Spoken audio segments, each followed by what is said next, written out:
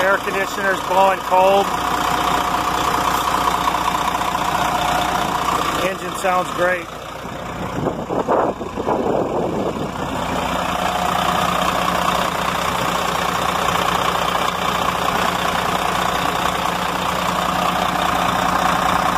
The water leaking on the other side, that's coming off the air conditioner condenser.